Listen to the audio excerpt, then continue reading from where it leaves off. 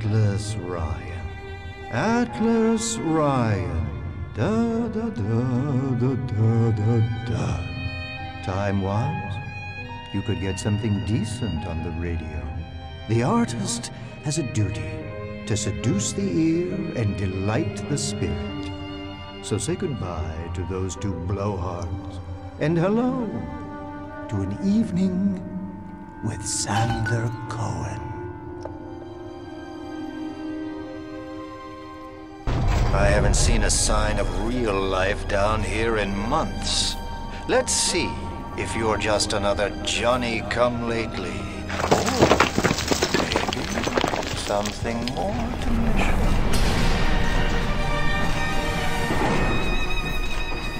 Welcome to Fort Frolic.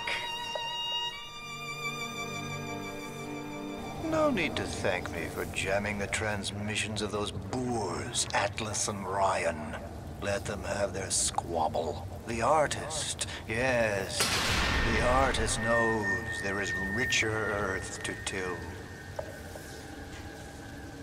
For example, I test you, little moth, but for a reason. I test all my disciples. Some shine like galaxies, and some, some burn like a moth at the flame. Come now into my home. You won't lock us in, old man? Oh, that's fine with cops. I used to love you. I used to think you're a musical genius. You know why? Because you paid my rent, you ancient hack. Come on to the record. I'll show you what I think you're plinkety plink plink. The Wild Bunny by Sander Cohen. I want to take the ears off, but I can't. I hop, and when I hop, I never get off the ground. It's my curse, my eternal curse. I want to take the ears off, but I can't. It's my curse. It's my fucking curse. I want to take the ears off. Please, take them off. Please.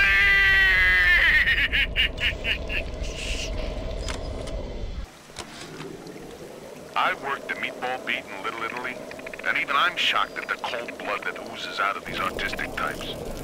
This broad Culpepper and that fruit job Cohen are in some kind of feud. And Cohen's looking for my security detail to pick sides. The next thing I know, I'm called into Ryan's office to talk about the whole mess. Goddamn nut job artists. Some hired Betty tried to sell me on those fancy Oxford Club ciggies. Mm, no thanks. I told her I'm a nicotine man. Always will be. Why? Well, they smoke good and don't cost half a damn. Who cares if the things are made out of seashells and fish eggs? Da da da da da da da da! Presto, presto!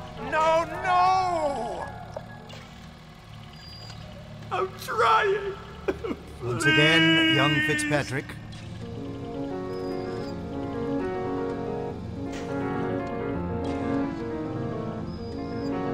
Da da da da da da da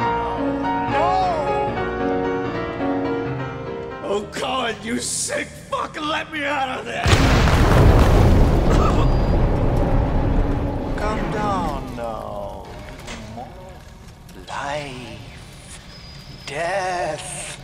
The burden of the artist is to capture. See young Fitzpatrick here on the stage. Use your camera. Take him as he is now, so I may remember him. Stood up again. Second time this week. Ever since my face was. Well, Steinman worked on me, but it was never the same since the blast. Being alone so much gives a girl time to think. Who could hate me so much they'd ruin me like this? What did I do to them? You know, I keep thinking of all them bandits and terrorists Ryan's got locked up in Palo Square, and I get so mad. Sometimes I can hardly breathe. If I could only confront them, tell them what they did to me, how they're ruining everything for me, for Rapture, maybe I, maybe I feel better. Regarding your review of Anna Culpepper's latest musical insult, of all the worthy artists in Rapture, why you continue to devote column inches to this musical gremlin is beyond my imagination. Where she is not derivative, she's boring. Where she's not boring, she's obvious. Where she's not obvious, she's dangerous. I could have been the toast of Broadway, the talk of Hollywood. But instead, I followed you to this soggy bucket. When you needed my starlight, I illuminated you. But now I rot, waiting for an audience that doesn't ever come. I'm writing something for you, Andrew Ryan. It's a requiem. Rapture is going to hell. And why? Because of them. Always behind the scenes, at the Lyceum, at the galleries in Soho, even down here this so-called utopia. The doubters. But Ryan understands. We're simpatico. Yes, there's blood in the streets. Yes, people sometimes disappear. And those awful little girls. Well, I suppose the doubters think you can paint a picture without soiling your smock. Do you see it? When I am dust, this is what they'll point to. My quad tick. My masterpiece. Go ahead. Don't be afraid. Touch it. You think you're gonna finish me in here, you old fruit? Yeah, the saps you tossed in this meat locker all panicked like rabbits. I just watched and waited. And when they started to kick, I started to scavenge. Made myself a little splicer cocktail I did. You can't come in from the cold. And you gotta grow ice over your heart. And the Iceman cometh, Sander, baby. The Iceman fucking cometh. Fontaine knew our blokes were coming. We were done over. Them splicers come screaming out the woodwork. Burping fire, spitting ice. Demons out of the Bible they were. I've never seen nothing like it. It wasn't a business he was building. It was an army. I just got the word to put the bump on Anna Culpepper. This isn't some gangster or hard-nosed political operative. We're talking about a dizzy twist what wrote a song or two that got under Ryan's wig. The good people of Rapture didn't sign up to see us government type shutting down shops, killing their owners. Even with a ponce like Fontaine. But he brung it upon himself. Instead of copping it on the chin, Bugger gets it into his head that he's gonna go down guns blazing. Who does he think he is? John Bloody Wayne? We can get on top of this. We can. Here's what we do. We find Fontaine's will and make what was his go to where it was intended. And not into the pockets of us that put him into the ground.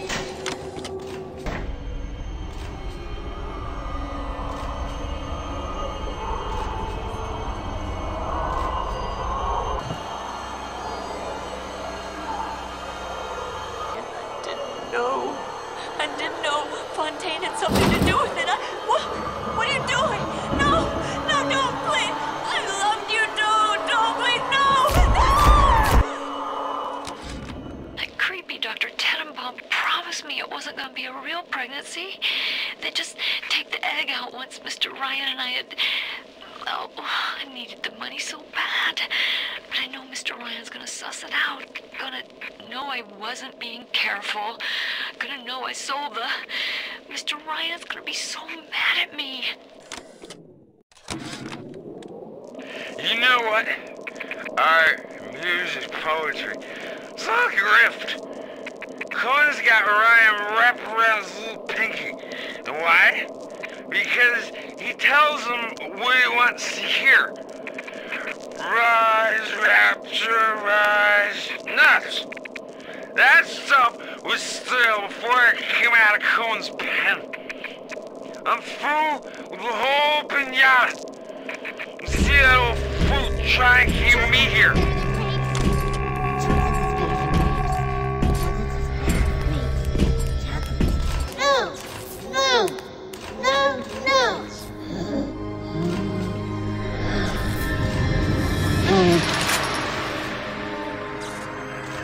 Seen such terrible things and done worse myself. Thank you Thank for you for reminding me that the light of the world has not yet been snuffed out. Cohen's not a musician. He's Ryan's stable boy. Ryan's corrupt policies crap all over the place, and Cohen flutters around clearing it up. But instead of using a shovel, like you would with a proper mule, Cohen tidies with a catchy melody and a clever turn of phrase. But no matter how nicely it sounds, he can't really do anything about the smell. It is accomplished!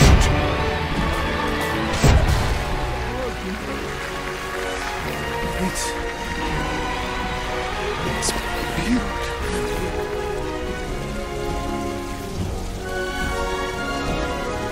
find your path to is now clear.